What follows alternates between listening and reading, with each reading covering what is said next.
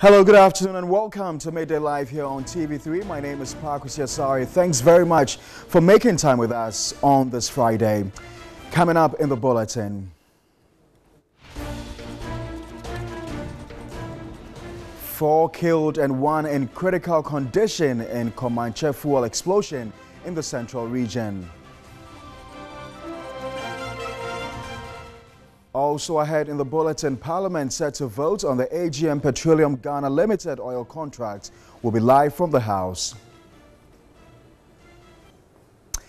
And on the international front, more than 1 million people evacuated as Cyclone Fani slams into India's eastern coastline.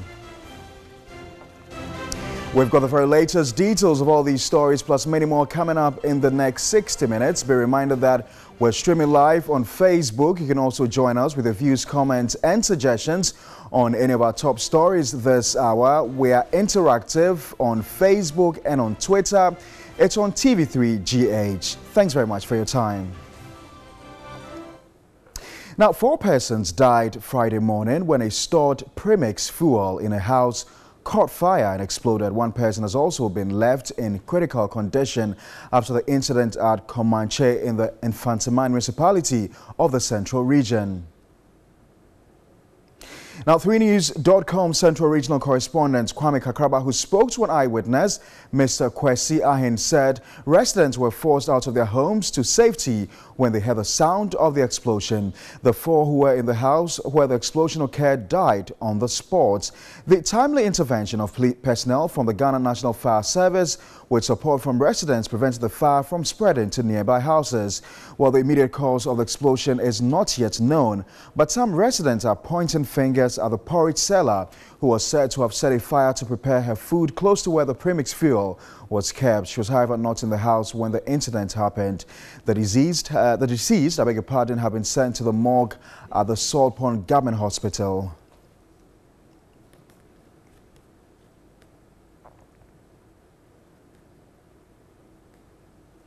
Now, the former Minister of Power, Dr. Kwabena Donkor, says the AGM petroleum agreement, which has been laid before Parliament for review, is the worst deal Ghana could ever accept.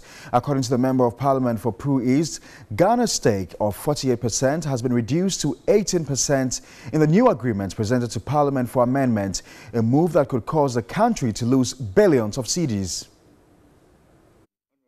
The AGM agreement, which was originally ratified by Parliament in 2013, gave Ghana an initial 10% in royalties with the option to purchase an extra 15% stake when oil is found. GNPC's subsidiary company, Explorco, also holds a 24% share in the original agreement. The amended deal submitted to the House for approval, according to the former power minister, gives Ghana only 18% out of the initial 48%. Dr. Kwabena Donkor says due diligence was not done in accepting the new deal presented by government. The interests of Ghana must take precedence. They are asking for fiscal terms, the taxation terms, on the terms of um, ExxonMobil which again is a dilution of the terms in the original AGM agreement. Zoomlion has 2.5% in the original agreement. That one has been taken away. If we are to develop the oil and gas sector, it should be done on the basis of fairness and should be done on the basis of equity and also transparency. This agreement sends Ghana back, and we must resist it.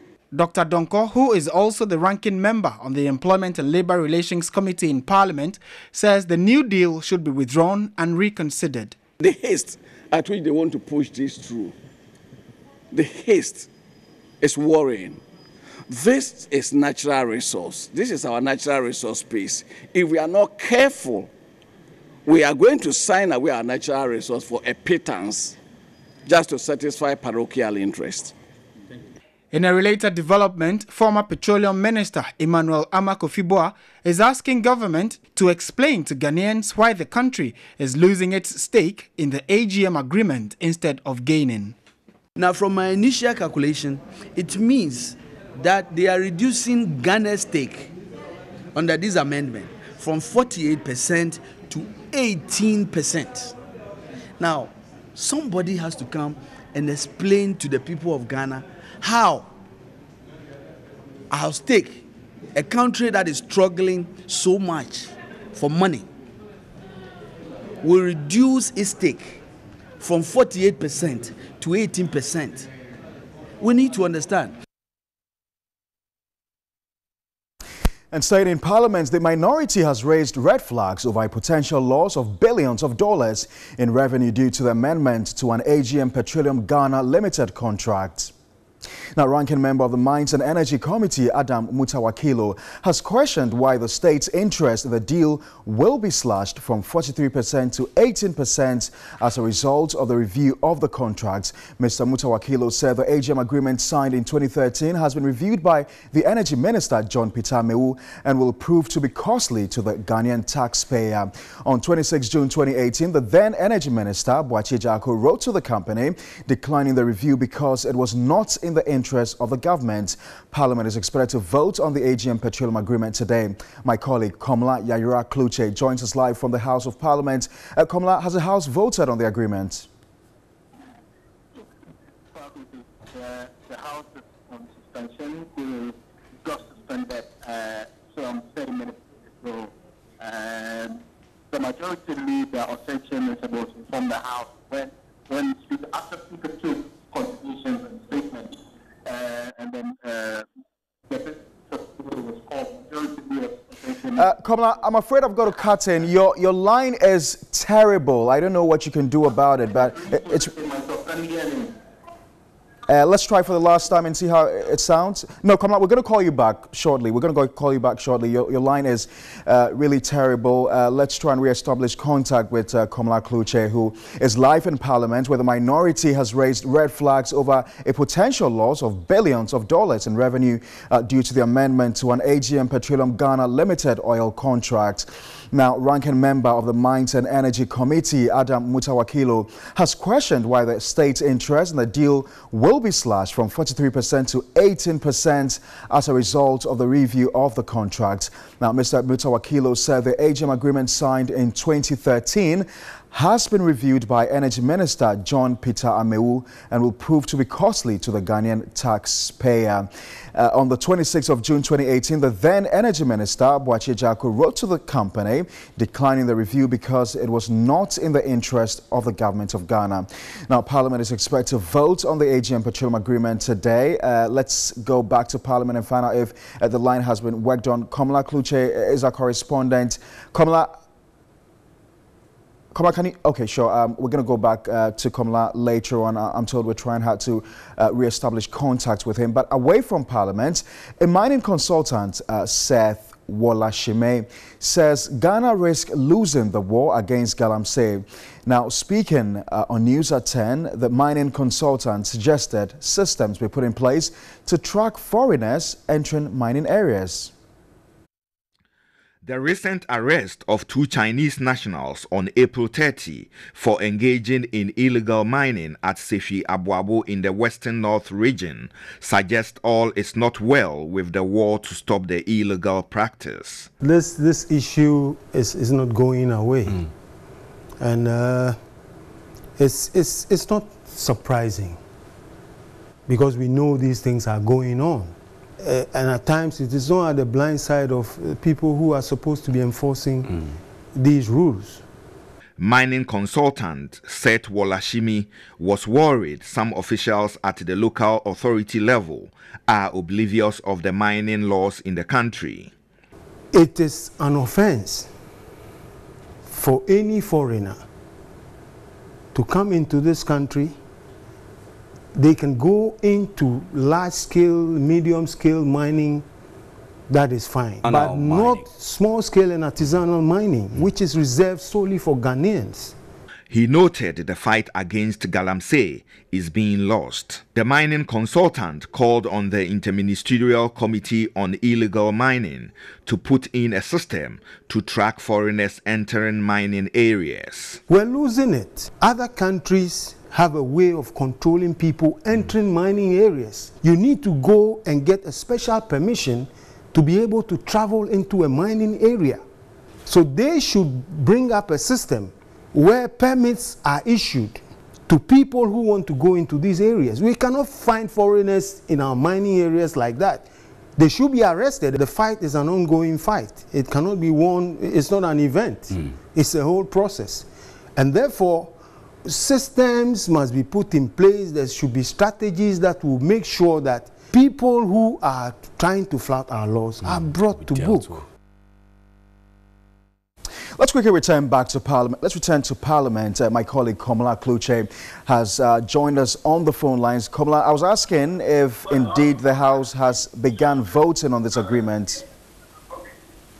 Absolutely not. The House has suspended uh, sitting until 2 p.m. because uh, what we do understand is that the paper is not ready yet. Mind you, the committee does a joint uh, finance and, um, Mines and Energy Committee met yesterday to deliberate on this controversial EDM uh, yesterday, and you're aware that Parliament would, uh, uh, Parliament closed session late last night, so they were unable to finish with the work that they were doing. My understanding this morning also is that um, the committee hasn't been able to put together its report yet for the paper to be presented to the House. So the majority leader and then the, the leader of government business of Chairman Sabonsus um, and asked the speaker this morning that they should suspend sitting because virtually all the items on the order paper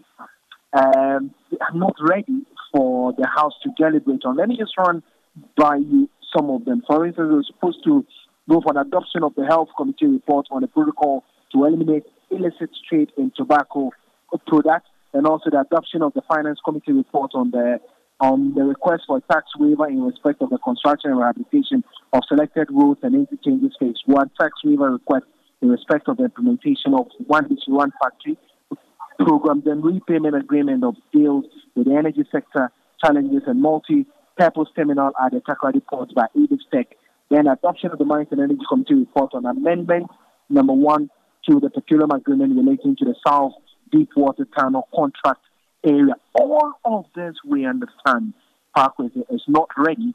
The more reason we have had to suspend sitting until 2 o'clock. As to whether the committee is even meeting now, we are unable to get information on it because and everybody is tight-lipped about it. The minority is is scheduled to hold a press conference somewhere around two o'clock, we are not too sure whether it's going to be on this again or on some other issues. But as, as we're speaking on Park with you, the House is on suspension until uh, 2 p.m. Uh, Komla, um, we understand that there was lots of disagreement amongst uh, the parties, the two parties, on this matter. Can you give us a mental picture of exactly how heated this debate was? I'm unable to hear you. Can you repeat the question? Asking if you could give us a mental picture of exactly how heated this debate was in Parliament.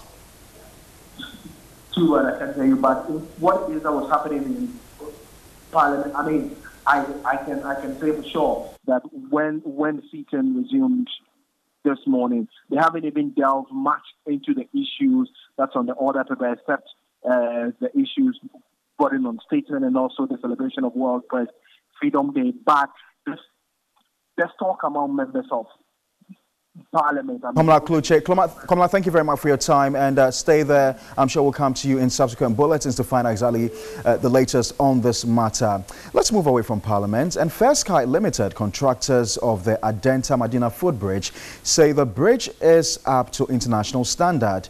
Now, reacting to concerns by a section of the Ghanaian public that the footbridge is too long and the design is not the best, the contractors said the footbridge is up to international standard. They explained that the design design is to enable disabled people to also access the bridge.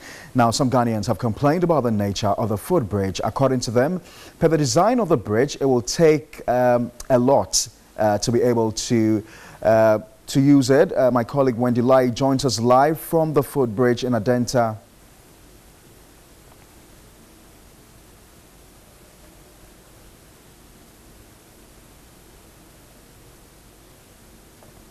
Right, so uh, as you can see the footbridge there, uh, seated right in, uh, between Adenta and Madina.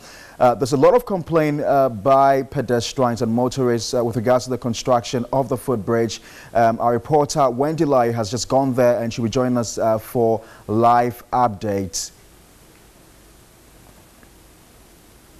So Fair Sky Limited, they are the contractors of uh, this uh, footbridge and they say that the bridge is up to international standard, um, reacting to concerns by a section of the Ghanaian public that the footbridge is too long and the design is also not the best. The contractor said the footbridge is up to international standard. They explained that the design is to enable disabled people to also access the footbridge. Now, some Ghanaians have complained about the nature of the footbridge. According to them, per the design of the bridge, it will take a lot uh, to be able to use it. Wendy Lai is expected to join us shortly uh, from the Adenta footbridge. Government we awarded the footbridge contracts to some other contractors. I, I have been here since um, 11.30 and I've seen that a number of people have used this foot bridge. And also I'm currently at the Riz foot bridge. And I as well as I can see some um, persons from the Ghana Society of the Physically Disabled here who are doing their very own assessments on the usage of the bridge. But early on, I spoke to the resident engineer for the Madina Denton Access Ramp to Footbridges construction. In the person of Shazu Dean Isa, and he mentioned that for the six bridges, that's for Firestone, Zongo, Medina, that's Zongo Junction, and Redco, and then Riz Junction, SDA was an adentan barrier. For Zongo, it has stairs, Redco has stairs, Riz Junction, where I'm currently standing, has a ramp and not stairs. SDA has stairs, was an adentan barrier has stairs. He also took me through some of the considerations that were looked at before the construction of the footbridges. He did mention that the design is a reinforced concrete design and even though they have the same specifications, the designs are different. And he indicated that for this very footbridge, which is a raised footbridge with a ramp, the intersection was taking into consideration. That's the reason why we have this kind of, I should say, zigzag ramp here. Um, so aside that, um, this slope is a 7% slope. A 7% slope was used for this. And one of the other considerations that it took that was taken into uh, place was that they ensured that the persons with disability can use it without support. So shortly, I'll try and get to the persons with disability and also interact with them to find out what they make of the footbridge. But there's a lady here I can speak to. Hello, madam. Hello. Your name? I'm Princess. Princess, where do you live? Adenta Down. Adenta Down. And is this your first time using this bridge? Yes, please. What has been your experience? I think is is the best is the best is the safest of all. Because when you see you crossing down going up and down is the is very risky. But you taking the bridge I think is the best. And when you look at all the bridges that they've done this one I think this particular one is the best one that I see Yes. Well, thank you so much, You're Princess. Now, this is Princess. You just had her and her assessment of the footbridge. This is the first time she's using the footbridge. But early on, I also spoke with the engineer in charge and I asked him if they had some meetings with uh, persons with disability on the construction of the footbridge. He said no, they didn't have meetings with them, but they used the standards that meet their needs for the persons with disability. He also mentioned that other considerations that were looked at has to do with safety and availability of space. So even though the specifications are the same, safety and availability of space was taken into consideration. And then he did mention that there are different stages of completion. One is already done, which is this very one, but the rest are close to completion. Now, the project timeline is for May ending, and he's hopeful that they'll be able to complete it. Let me move also to one resident within Adenta to tell us her experience. Good afternoon, madam. Your name and where you live? I'm Magnus. I live at Adenta. Is this your first time using this bridge? Yes. And tell us about your experience. Oh, it's very nice. It helps us to cross the road very easy. It's very nice. Okay. All right. So where are you heading to now? Okay. But will you still use this bridge again? Yes, yes, Okay. I'll use it. Now, I have to say that when we got here early on, we realized that people were still crossing the median. Even though this footbridge is ready, they preferred crossing the median. There are some gentlemen here whom I will be speaking to shortly. Hello, sir. Good afternoon. Well, we have the assemblyman here who will be interacting with us shortly. Good afternoon, sir. Good afternoon. And thanks for your time. Your name? My name is Rashid Osebusu. Rashid. Now, Yeah. last year there were a series of protests. Yeah. And residents of Adenta and Ghanaians as a whole were calling for the construction of these footbridges. Now, we're currently at the Ridge footbridge and we're on the ramp. What do you make? Have you, you personally used this to the end? Yes, I have used it. This is Ridge Junction, not Ridge. Ridge Junction. And I was here yesterday night because I felt that, you know, in the evenings is when people normally use these roads, especially when there's so much traffic and there's darkness. So yesterday, we, myself and my brother, we used the pedestrian walkway, the bridge, and realized that there were some few issues. One, the lighting system. The whole place was dark, so it was a, a bit scary. Two, the rail, rails at the middle side, the guards, the metal guards, are too short. I was suggesting that at least uh, it should be at the shoulder level of an adult, so that kids, there are a lot of schools around. Our kids, they are very clumsy, they play around. Whilst nobody is observ- observing, they can just come, climb, play around, and anything can happen. Something fatal could happen. So I was of the view that instead of that two bars there, it could have been three or four. So that when you are up there in the middle, you have no uh, opportunity or space to scale off or any other thing. But apart from that, it's okay. I think the most important purpose was for people to cross and also for people with disability to have easy access. And I don't know if you have seen, I have seen somebody cross and the person is a disabled person it was comfortable. And even motorcycles can use this thing. I've observed that motorcycles can use this particular pedestrian bridge, even though it's not advisable, but they can use it.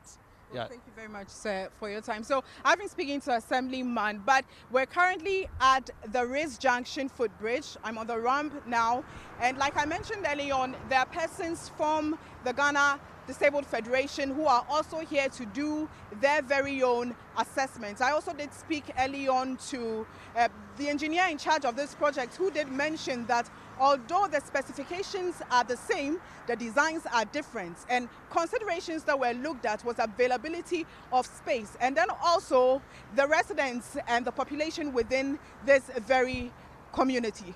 Over to you in the studio. Thank you very much, uh, Wendy Lai, reporting live from the Adenta Medina Fort Bridge. Now, away from that, uh, the UN Secretary General Antonio Guterres has been speaking to mark the UN World Press Freedom Day as journalists gather in Ethiopia to mark the day. A free press is essential for peace, justice, sustainable development, and human rights. No democracy is complete without access to transparent and reliable information. It is the cornerstone for building fair and impartial institutions, holding leaders accountable, and speaking truth to power. And this is especially true during election seasons, the focus of this year's World Press Freedom Day. Facts, not falsehoods, should guide people as they choose their representatives. Yet, while technology has transformed the ways in which we receive and share information, sometimes it is used to mislead public opinion or to fuel violence and hatred. Civic space has been shrinking worldwide at an alarming rate. And with anti media rhetoric on the rise, so too are violence and harassment against journalists, including women. I'm deeply troubled by the growing number of attacks and the culture of impunity. According to UNESCO, almost 100 journalists were killed in 2018. Hundreds are imprisoned. And when media workers are targeted, societies as a whole pay a price. On World Press Freedom Day, I call on all to defend the rights of journalists whose efforts help us to build a better world for all. Thank you. All right, so you have the UN uh, Secretary General uh, Antonio Guterres speaking on the day of World Press Freedom. And across the world, journalists are being celebrated. Over 99 journalists were killed in the year under review. Ghana lost its position as the freest country to practice journalism to Namibia. My colleague Martin Asiedu-Dartey is at the celebration in Accra and joins us live.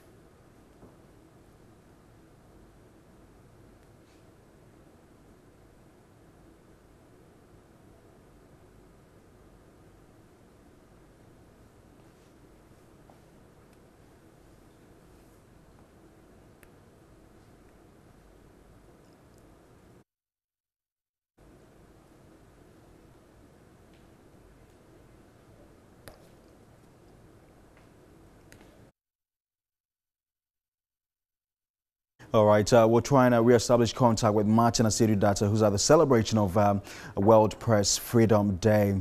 Now, weeks before the vaccine was inaugurated, my colleague, that's the malaria vaccine, uh, was inaugurated. My colleague Esi Benwanyame was in the Bono region to visit the Kintampo Hospital where the research for Ghana was conducted. She spoke to the medical practitioners and parents of some children who participated in the research. Now, here's a short version of a story she filed days back. This is the Kintampo Health Research Center. Over the years, the center has conducted clinical trials into vaccines and drugs of public health interest. Between 2006 and 2013, the center conducted phase 2 and 3 trials of the malaria vaccines among children. The vaccine is ready to be used here in Ghana, together with two other African countries. We enrolled two cohorts of children, 6 to 12 weeks old and 5 to 17 months old. So what we found was um, among 5 to 17 months, um, the vaccine efficacy was 47 percent um, after following them up for 48 months. Um, for 6 to 12 weeks, it was 27. We did follow them up for the same period, 48 months. The vaccine trials did not come without challenges. There were some misconceptions about blood draw in the communities. Um, we did take a lot of blood samples so that I can make analysis to look at the safety issues. So some have issues. Um, some withdraw, but I might say few number of them, less than about 2% did withdraw because of the blood issue. Um, the other challenge is once we were looking at the safety issues, even if within 12 midnight, if a child falls sick and a field worker in the community calls you, we had to pick up those children from the community. The news team followed up to Babatokuma, one of the communities where children were recruited for the study. Hakim Al Hassan was six weeks when his parents consented on his behalf to be part of the trials. Hakim is now 12 years. Hakim used to suffer from malaria, but not anymore. Sheila also 12 years, participated in the trials at six weeks. Her mother is excited her daughter took part in the process that would inform national policy. malaria no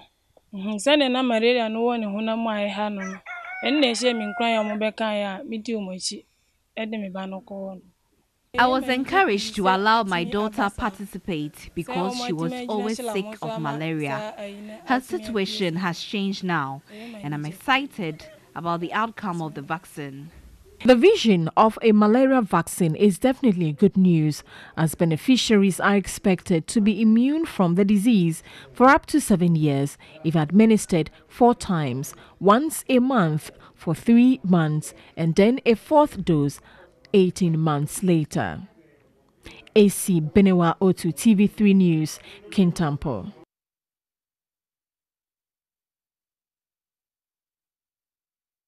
All right, so we're going to stay a while longer on this subject. I'm joined in the studio by Keziah Malm, who's a malaria control programs manager, and uh, Teria Evans, who is with the for Ghana's independence. Is that it? Yeah. Okay, thank you very much, gentlemen and lady, for your time. Uh, so, uh, Casey, I'll start off with you. Um, I saw you at the launch. It was pretty successful. Uh, what's been the level of uh, progress so far? Um, so far, we are moving on um, well. All the districts that we expected them to start have started. Those who had their child welfare clinics on Wednesday started giving out the vaccine. So we are, we are happy with the outcome so far. Mm.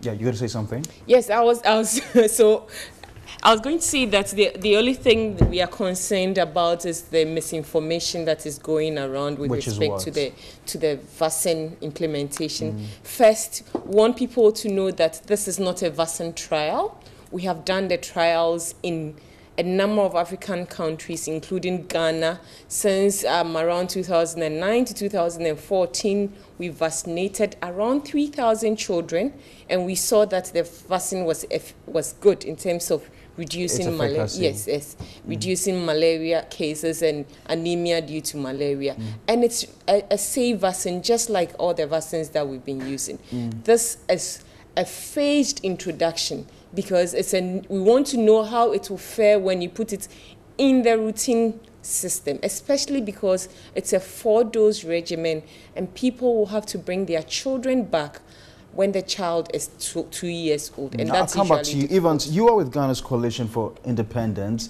Uh, Coalition for Ghana's Independence. Coalition now. for Ghana's Independence now. And you're saying that this um, vaccine administration should stop? We are saying that if like our mother, our father, our parents, which is the state, is not ready to bear responsibility. It's only civil and right in the eyes of human rights, fairness, and justice that nobody goes out there because the state has not hidden it. It's not implicit, it's explicit in the Public Health Act 2012. We are so lucky that we had our Public Health Act at a time where many countries have done the mistakes. At a, the days where people thought uh, vaccines are as, as holy as the Pope, developed countries have gone past that to say that vaccine is safe in itself will, will be problematic outside Ghana or Africa. But here, our Public Health Act will say that it is safe. Polio vaccine was said to be safe but there are a lot of people who can't walk. There are a lot of people who are in wheelchairs. Myself, I drag my left leg because of polio vaccine. Fine. You understand? So what we are saying is that for the framers of the Public Health Act to even write that the authorities and the officers who go to do immunizations and uh, vaccinations should be indemnified and immune from prosecution. Should there be an adverse, adverse effect after immunization or vaccination or during should tell you okay, that. Hold on for me, Keziah. Is that, uh, you know, is there a law that indemnifies? I'm, I'm not sure about that. Um, mm.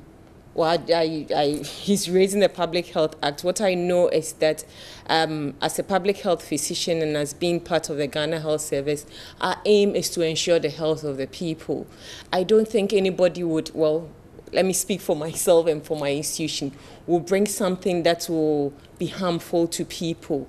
If we stop vaccination, a lot more people will die from the diseases that kill us. A lot more children will not be able to reach their fifth birthday. The six killer diseases. I'm not sure you've seen whooping cough before. I've now seen poliomyelitis. Yes, you've seen polio. How many? You've seen the complications of poliomyelitis. Do you have new young children getting polio now? The answer is no, because the vaccines has been able to work. Have you seen a measles case before? Not lately. Yes, because the vaccines have been able to work. The vaccines does more good than harm. And so I think if there is a supposed harm it's, I, I said it on radio a few minutes ago. It's unfortunate that he had some complications from the injection um, from polio. But we should remember that the polio itself causes paralysis. So There, I can't, and I can't say what is the cause of whatever he had. But if there are issues, let's try and address them, Mm. and not say that the vaccine is not good. Mm. More people will die if we stop vaccination. Mm. Last year, we recorded 5.5 confirmed malaria cases, and children are the most affected. So what you're saying is that these vaccines have been tried and tested in other areas. Back here in Ghana, what we're doing is not trials. It's not a trial. Mm. We tried it in Ghana, in Agogo and Kintampo, and it showed in your clip that you just sh- mm. showed. This is going into the routine system. We want to learn more before we go into the routine system where everybody will use it, and that's what we are doing. It's not a trial. You want them to stop entirely? See, what we are saying is that we are not saying, for me, from the knowledge I have about adverse effects of vaccine, myself, nothing will compel me to do it. But I know there are others who have the feeling that if they don't go for it and they get malaria, and they have good case, it is these people that we are saying that don't be in this irresponsible relationship with the state. I want them to answer to Ghanaians.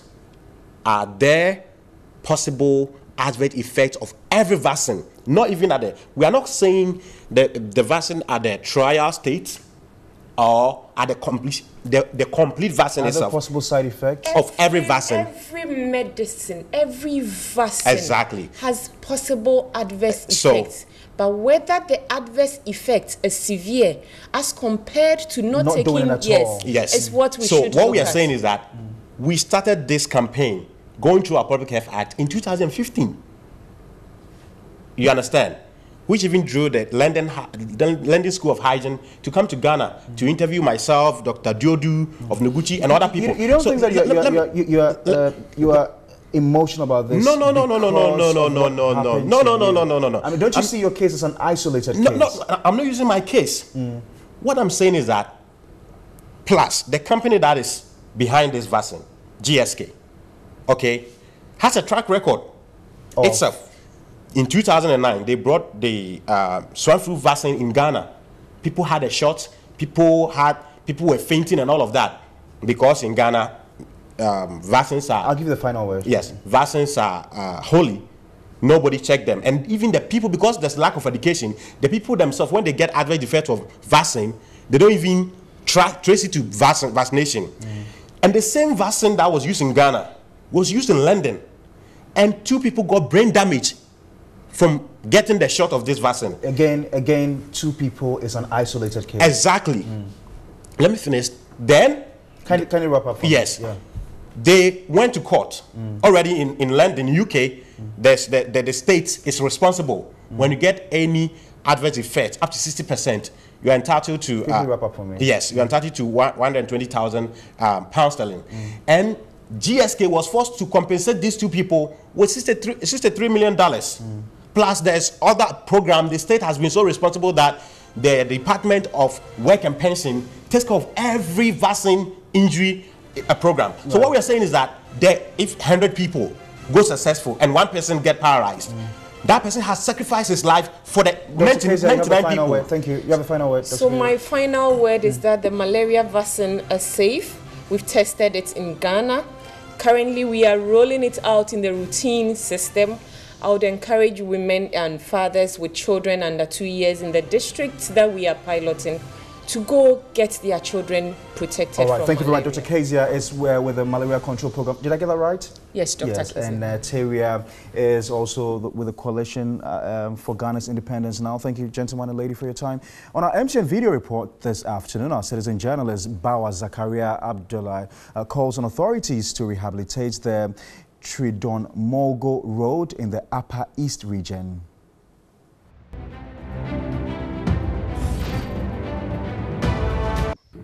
There is a looming danger on the Tinomolgo Dorongo Road.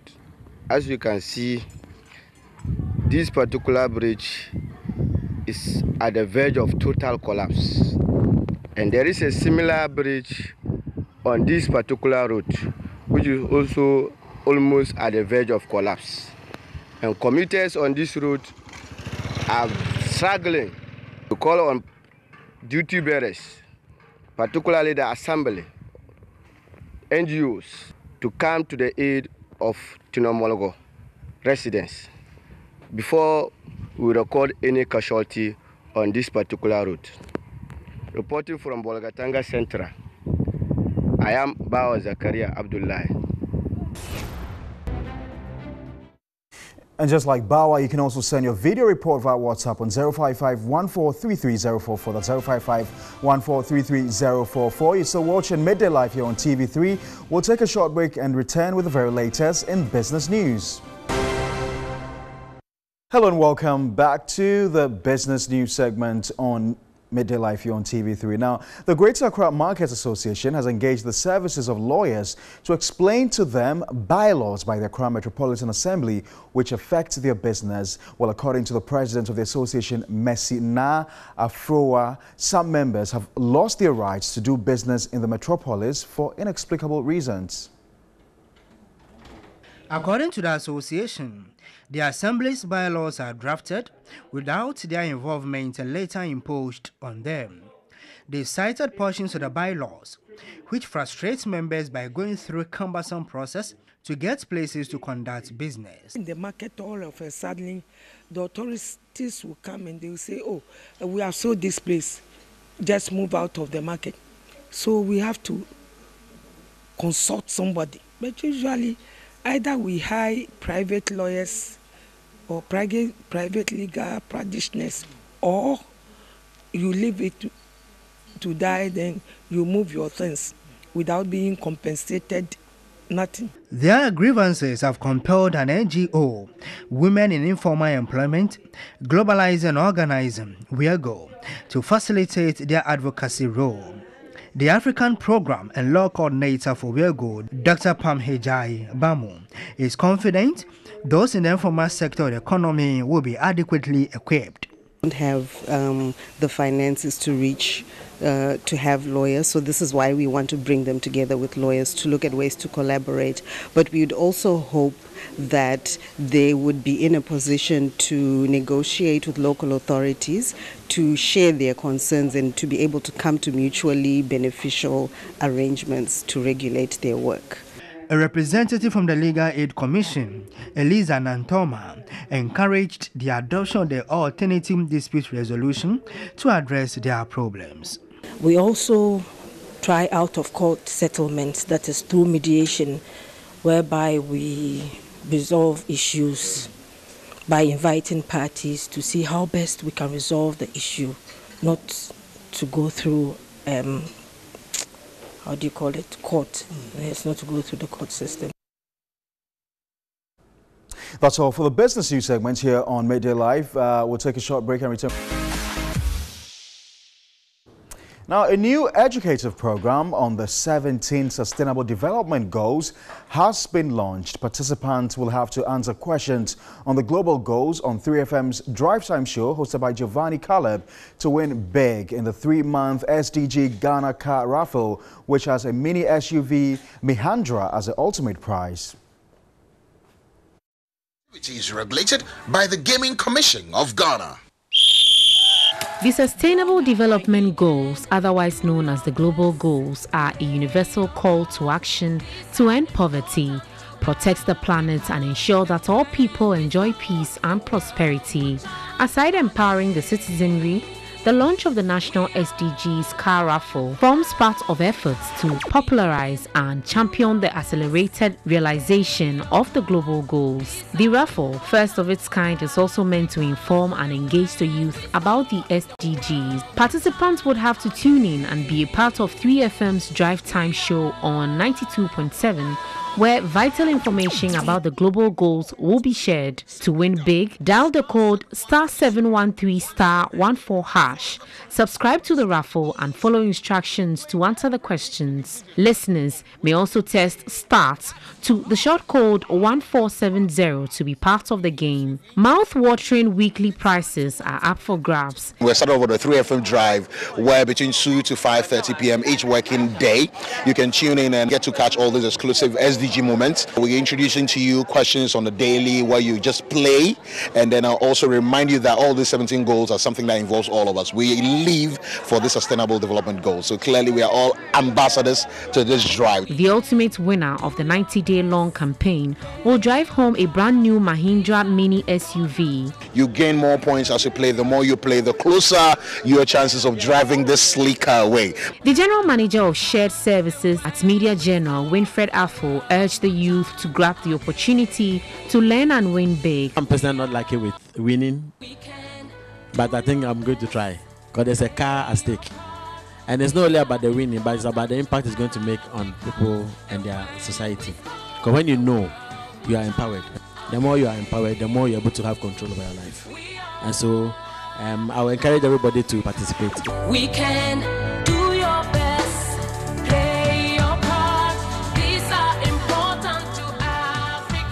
The theme song for the SDGs Ghana Car Raffle was delivered by Wiyaala.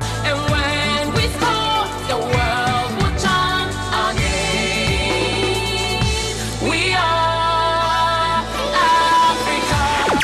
DJ Switch. Well, that's all for Midday Live here on TV3. Thanks very much for your attention and also for watching.